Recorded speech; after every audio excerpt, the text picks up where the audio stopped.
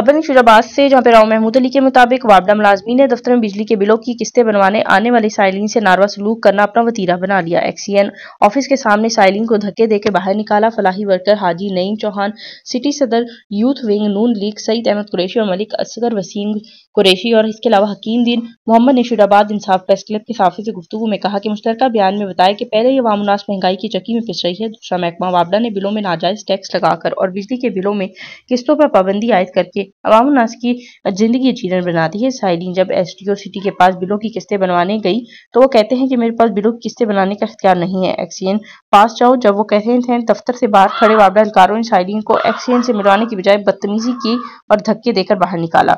School पर मुतल अलाकाम से नोटिस लेने और बिलों की अदायगी के साथ में वसूल करने का मुतालबा है और अमल दरामद किया जाए।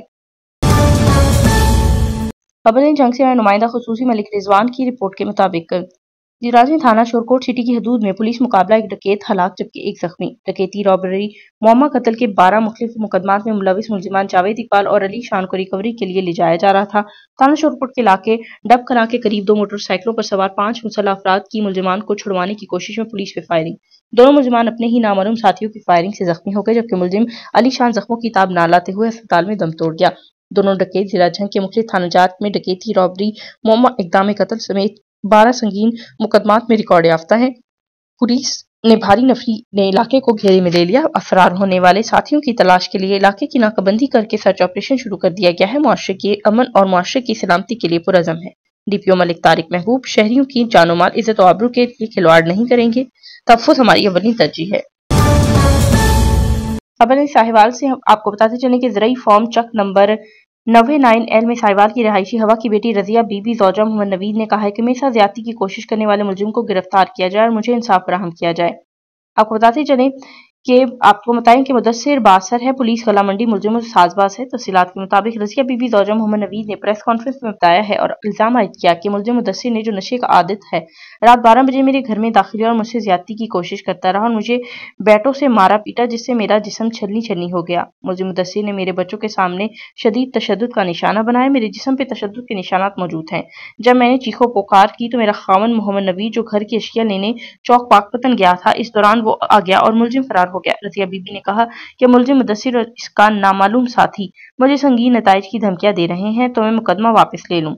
वरना तुम्हारे खावन मुख्तफ नोयत के मुकदमा दर्ज करवा देंगे। मुलजिम मुदसर वेल्डिंग का काम करता है उन्होंने मेरे खावन पर भी एक झूठा बेबुनियाद बोगस मुकदमा दर्ज कराया है। मोहतरमा रजिया बीबी ने कहा कि एस एच ओ तफ्तीशी ऑफिसर भी मुलजिम से साजबाज है, जब मैं इंसाफ के लिए थाने जाती हूँ तो मेरे साथ बदतमीजी पे उतर आता है और मेरी कोई सुनवाई नहीं होती। मैं वजी अला पंजाब और अला हुकाम से फौरी तौर पर नोटिस लेने का मुतालबा करती हूँ।